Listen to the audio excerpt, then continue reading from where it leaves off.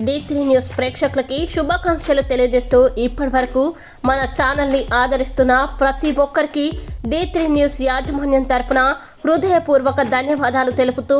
D three news నూతన సంవత్సర క్యాలెండర్కి సహకరించిన మరియు ఆవిష్కరిస్తున్న ప్రతి ఒక్కరికి పేరు పేరున హృదయపూర్వక ధన్యవాదాలు కృతజ్ఞతలు.